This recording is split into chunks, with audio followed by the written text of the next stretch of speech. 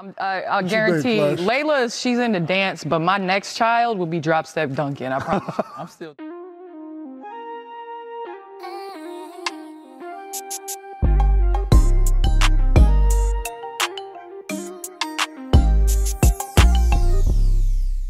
Hey, what up, everybody? Welcome to Fridge Talk. We're chilling. This segment we like to call Who Dat. And on today's segment, we have Candace Parker. Yeah, Who Dat? Candace Nicole Parker is an American basketball player for the Chicago Skies, an NBA analyst on TNT, and was selected first overall draft pick in 2008 by the Los Angeles Sparks. First, she said Candace, and I was like, okay, it's not, because there's Candice Wiggins. So I was like, okay, it's not clear yet. So then I heard Parker, and I was just, you know, really, really, really excited about it. She's a versatile player, mainly plays the forward position.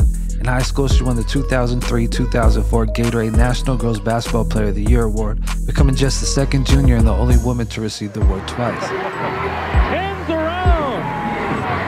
Candace, congratulations on being the first winner ever of the Powerade Jam Fest. The first woman winner. Thank you.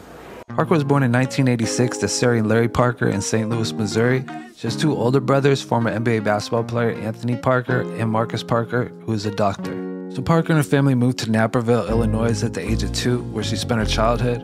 Her family loved basketball and she began playing at an early age. Her father helped coach and critique her. A lot of times she was better than the other kids and would just coast. So sometimes coming home from practice, he would kick her out of the car and make her run home. I was gr- I, gr- I was brought up where you finish what you start. And to be able to see my grandma and her face mm. when she saw that I was coming home, I mean, I, I think that just During her youth in Chicago, she grew up loving the Chicago Bulls and was a Michael Jordan fan, but her all-time favorite player was Ron Harper. She had a dog named Prada and previously had a St. Bernard mix named Fendi, whom appeared with her in an anti-fur ad for PETA. I feel very passionate about the fur campaign for PETA.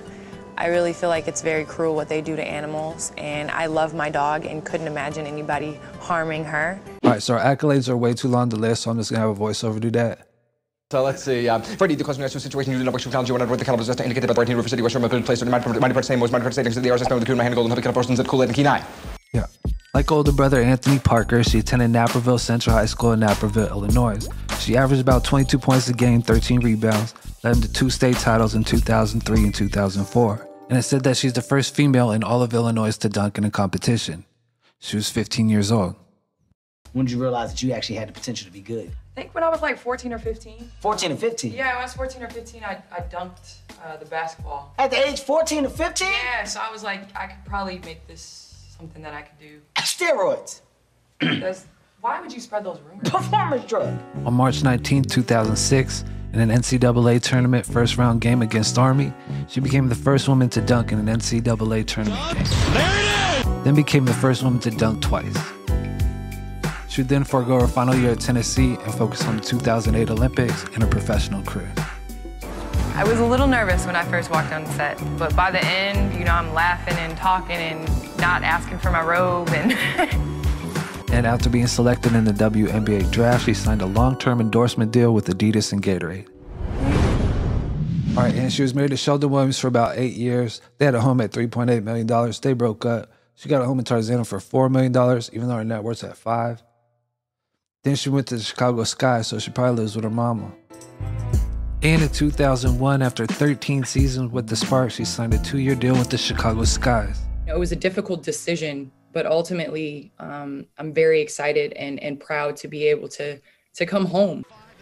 Adding she followed her heart, Parker says she's passionate about helping the Sky win a championship.